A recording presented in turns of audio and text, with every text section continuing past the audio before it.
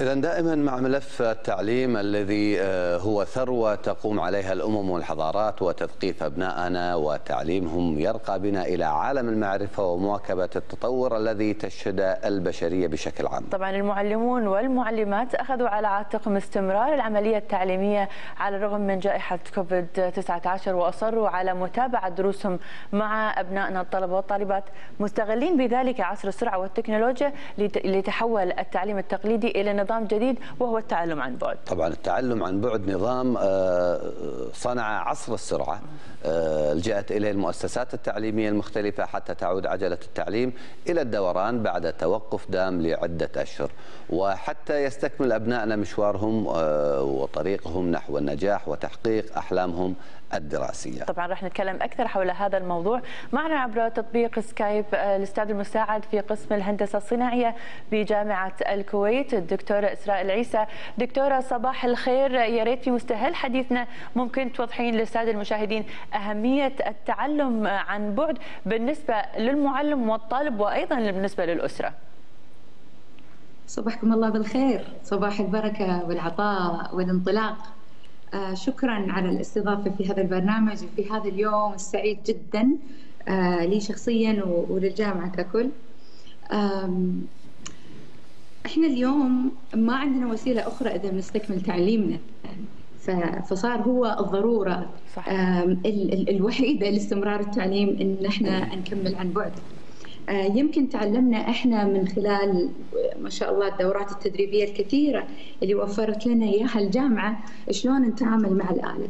وكان عندنا في السابق تجربة شلون نتعامل مع طلبتنا. أما اليوم التجربة مختلفة لنا علينا ليش؟ لأن هذه أول تجربة لنا إن إحنا نتعامل مع طلبتنا من خلال الآلة. فإحنا نعرف شلون نتعامل مع الآلة مع الكمبيوتر طول الوقت ومع الطلبة ولكن هذا الحاجز اللي بيننا وبينهم اللي ودي اليوم أتكلم فيه انه شلون ممكن إن إحنا نكسره. إذا تسمحوا لي أتكلم في هذا الموضوع إن شلون إن إحنا ننسنا إحنا متعودين كدكاترة إن إحنا نشرح من السبورة ولا من الكمبيوتر ولا من الباوربوينت متعودين إن إحنا نمشي بين أدراج الطلبة إن إحنا نشوف من ملامحهم اللي فاهم اللي سرحان اللي كان تعبان أمس. وهم كذلك متعودين بعضهم إنه يحب يقعد. على فكرة ترى ما اسمعكم زين. الصوت واطي. يجيني من معك إحنا نسمعك دكتورة. تسمعوني هذه؟ استمري استمري تفضلي.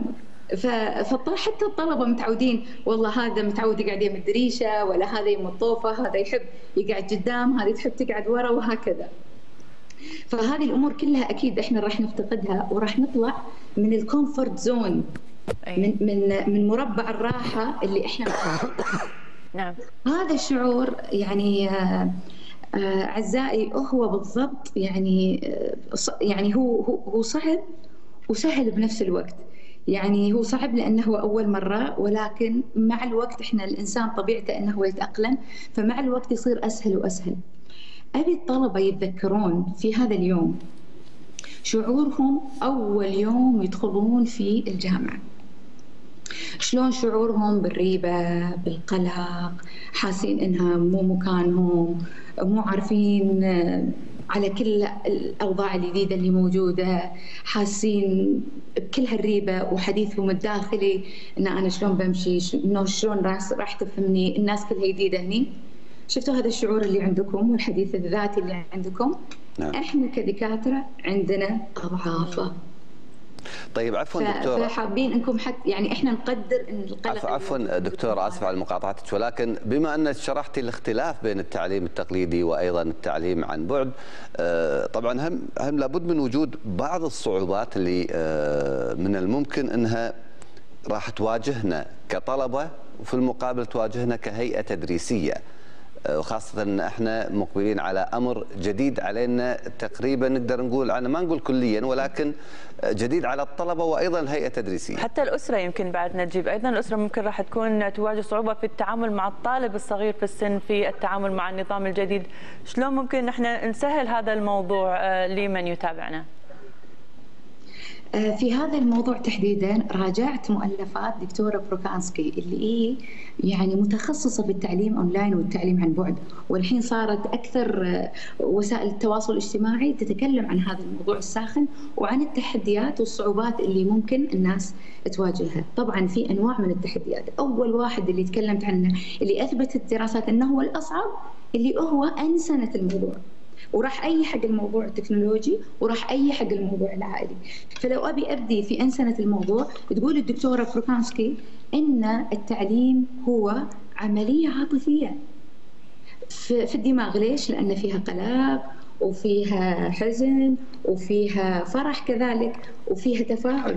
وأثبتت إن تحديدا تحديدا في التعليم أونلاين والتعليم عن بعد إن كل ما أنا زدت ال social presence إني أنا أظهر تواضعي وأظهر إني أنا ممكن أخطأ وممكن تطلع هذه الأخطاء الفنية وإني أقابل هذا الموضوع بابتسامة وإني أشجع التفاعل هذا بروحه يرفع رضاء الطلبة ويرفع تفاعلهم وحواسهم ويرفع نسبة استيعابهم وتركيزهم وكذلك تحليلهم النقدي.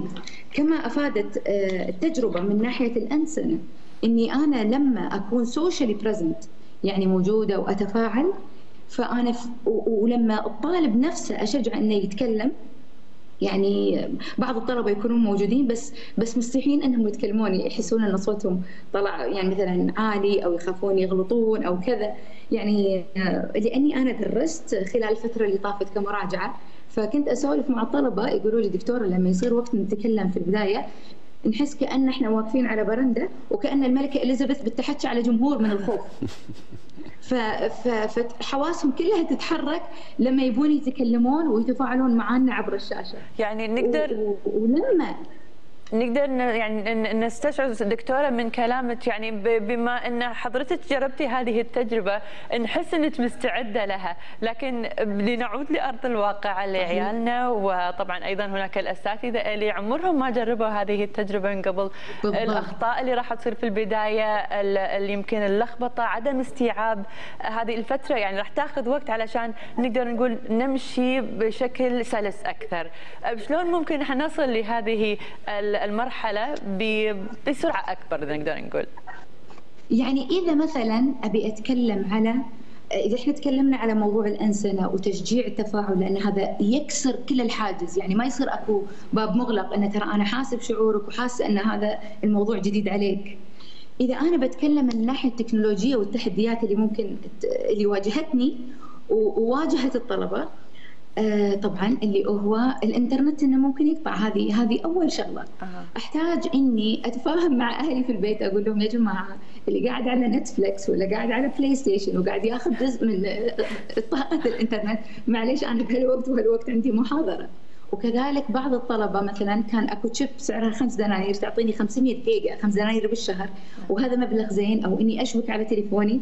هذا بروحه آه كان يعني آه يبسط يبسط الموضوع نعم. في موضوع جميل ان لأن هذا الموضوع ساخن في كثير من المواد التعليمية سواء إن شلون أنا أسوي كوزاتي آه، وأحضر مادتي العلمية أو وسائط العلمية موجودة كلها على الإنترنت يعني آه، يعني بمد مد إيدك آه، وتاقلم وإحنا يعني كوني أنا بديت كمراجعة في البداية كان صعب ولكن التأقل راح يتأقلمون وراح يكون الموضوع إن شاء الله آه، جدا سهل نعم. شغلة ثانية أحب أتكلم عنها اللي هو آه، الساعات المكتبية أيه.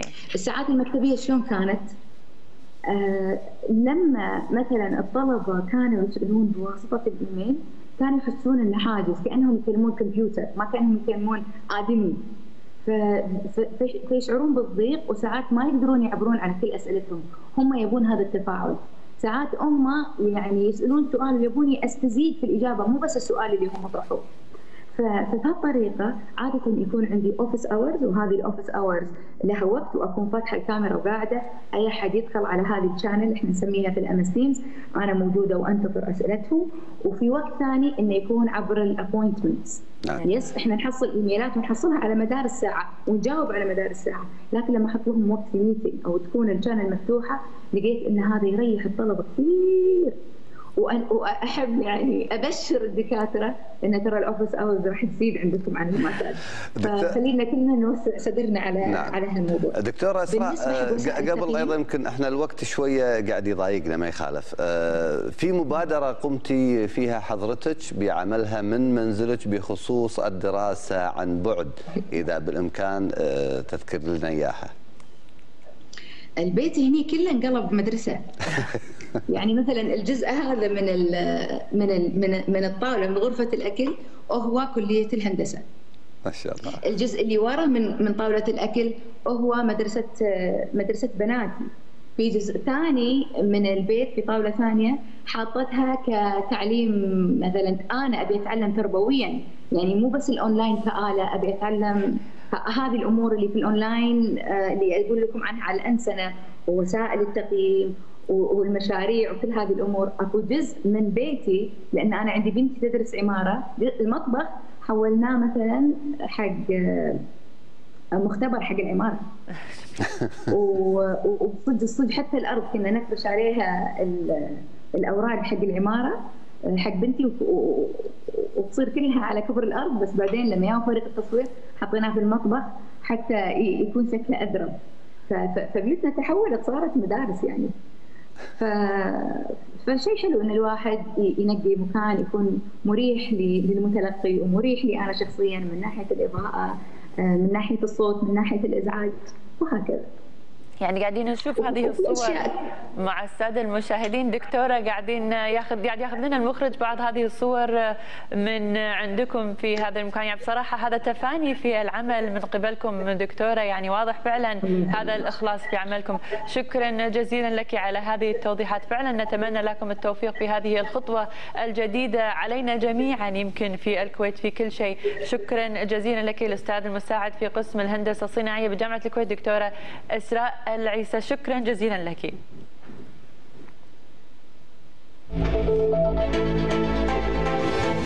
نبحر في عالم الصحافة المحلية والدولية.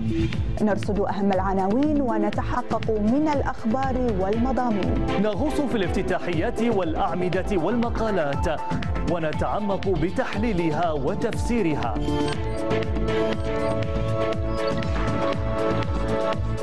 نستعرض لكم الصحافة العربية والدولية بعيون مراسلين حول العالم.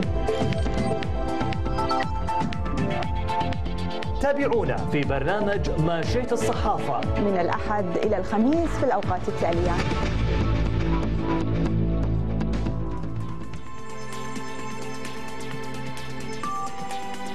أنا طبعا ما راح أسوي اللي سوتها الدكتور لا يعطيها بصراحه اللي قاعد تسويه حلو. وايد ممتع وصعب وايد أمانة إيه. يعني. فعلا تحدي هذا يعتبر. هو تحدي بينها وبين آه، الوضع اللي إحنا بالضبط. فيه. يعني إحنا داشين في ظروف. غريبة استثنائية اي وإن شاء الله الله يفكها إن شاء الله يفكنا منها إن شاء الله عاجلا غير أجل ولكن خلاص أنا أتأقلم بالضبط. وأعيش وأعيش اللي حوالي في هذه الظروف بحيث إنه يعيشون حياة طبيعية وإن كانت داخل البيت. أنا اللي حبيته إنه يعني لاحظت آه، الأريحية اللي هي قاعدة تشرح فيها وضع التعامل راح يكون بين الطالب والطلبة فندري إن هذه الفترة في البداية راح تكون صعبة لكن بالنهايه إن شاء الله راح تصيرون على مستوى الدكتورة من الأريحية. بداية صعبة. بالبداية راح بداية كل شيء بالبداية أنا والله أنا ما راح أسوي كذي بالبيت. لا ما راح يبين إذا بسوي بالمطبخ يبين جدر يبين قص طول ما ينفع.